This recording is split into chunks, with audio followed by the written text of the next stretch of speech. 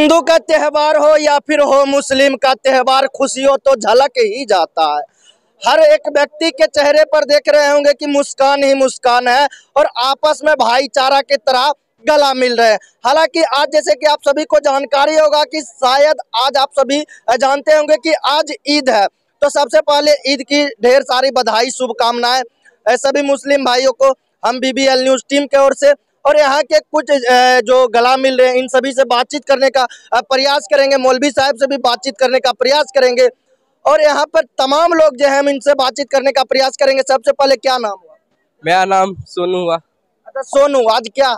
आज ईद है। देख लीजिए हालाँकि इधर और कुछ मौलवी साहब हैं और हम खास तौर पे तो इनसे बातचीत करना पसंद करेंगे चूँकि यह पूरा जानकारी दे सकेंगे। तो इधर देख सकते हैं अभी तो हालाँकि इनसे बात करने में थोड़ा कठिनाई हो रही लेकिन इनसे बात करेंगे। सबसे पहले आप सभी को बीबीएल न्यूज़ टीम की ओर से ईद की ढेर सारी बधाई शुभकामनाएँ। जानना चाहेंगे आखिर यह ईद ईद के शुभ अवसर पर और क्या क्या प्रक्रिया रहती है क्या क्या कार्य होते हैं? सबसे पहले तो मैं बीबीएल चैनल को मैं बहुत बहुत धन्यवाद देता हूँ। और और सबसे बड़ी बात है हम लोग ईद जो है ना एक महीना तो रोज़ा हम लोग रखते हैं और एक महीना रोज़ा रखने का बाद जो है ईद होता है सब में उत्साह होता है सब गले मिलते हैं सभी भाई मिल करके जितना भी है हिंदू मुस्लिम चाहे जो भी है सब एक खुशी की एक लहर होता होता है। और ये खुशियाँ को पाने के लिए लगभग एक मंथ रोजा रखना पड़ता है। यानी कि एक मंथ के यानी कि लगभग तीस दिन भूखे रहिएगा और शाम को इफ्तार होता है ना? जी जी। सुबह शहरी खाते हैं और शाम के छः बज करके दस मिनट या पाँच मिनट जैसे हो इफ्तार करते हैं हम लोग। उसके बाद फिर तरावी के नमाज़ पढ़ते हैं। उसके बाद खाना वाना खाते हैं। फिर सुबह चार बजे है जो है फिर शहरी खाते हैं। बस इसी तरह पूरा एक महीना चलता है। और एक मंथ के बाद ईद आता है जैसे कि खुशी का लहर हर व्यक्ति में देखने को मिल रहा होगा। और यहाँ के और कुछ लोगों से बातचीत करेंगे उनसे भी जानकारी देने का प्रयास करेंगे। यहाँ पर देख सकते हैं ये भी गले मिल रहे हैं और काफ़ी खुशी की बात है। और इनसे बातचीत करेंगे क्या कहेंगे देख लीजिए एकदम इधर भी है। और इधर देख लीजिए क्या कहेंगे आप युवा कुछ कहना चाहेंगे ईद के शुभ अवसर पर? नहीं नहीं अभी कुछ नहीं। अच्छा कुछ नहीं कहना चाहेंगे और अच्छा हम लोग बहुत खुश हैं यहाँ हिंदू मुस्लिम सब एकदम मस्त ईद एकदम बिंदास मनाते हैं। अच्छा ईद में क्या क्या कार्य करना पड़ता है किस तरह से रहना पड़ता है क्या क्या प्रक्रिया रहता है देखिए पहले तो महीनों रोजा रखना पड़ता है।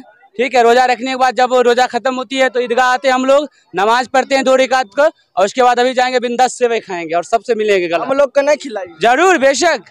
बेशक आइए आप सब भी खाइए सब लोग और यहाँ के और ईद का मतलब हुआ खुशियाँ मनाना। और इसमें जो है से हम सब महीनों भर जो है सो रोजा रखते हैं तरावी पढ़ते हैं नमाज़ पढ़ते हैं और ये सब इबादत करके और हम लोग जो है आज के दिन खुशियाँ मनाते हैं। हिंदू मुसलमान सब मिलकर जुलकर ये एकता का पर्व है। जी हाँ एकता का पर्व है और सब मिलजुल कर खुशियाँ मनाते हैं। जी धन्यवाद। और यहाँ के कुछ व्यक्ति से बातचीत करने का प्रयास करेंगे। क्या कहना चाहेंगे ईद के शुभ अवसर? सबसे पहले तो मैं तमाम आपके देखने वालों को व्यूअर्स को ईद की मुबारकबाद देता हूँ।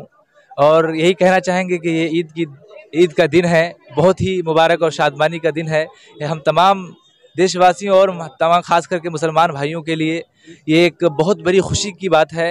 ये ईद मनाई जाती है, रमज़ान के रोज़े रखने के बाद, पूरे तीस रोज़े मुकम्मल करने के बाद, नमाज़ तरावी मुकम्मल करने के बाद, अल्लाह तबारक ताली ने हम तमाम मुसलमानों को ये ईद जो दिया है, ये तोहफ़ा के तौर पर एक इनाम दिया है अल्लाह तबारक ताली ने। तो बस यही एक पैगाम देना चाहता हूँ कि आप लोग हर साल की तरह इस हम, हमेशा जब भी ईद का मौका आए, आप लोग इसी तरह प्यार और मोहब्बत और शादमानी बनाए रखिए और मैं आप तमाम व्यूअर्स को अपना सलाम पेश करता हूँ। शुक्र। इधर भी देख सकते हैं, खुशियों का लहर दिख रहा होगा, हर एक चेहरे पर मुस्कान दिख रहा होगा।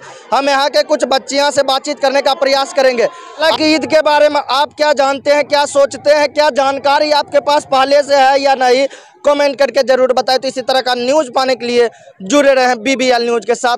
धन्यवाद, जय हिंद।